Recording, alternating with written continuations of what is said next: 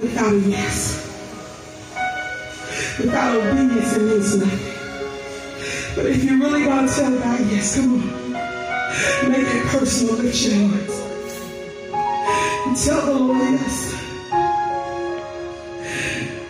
Soul says yes. My soul.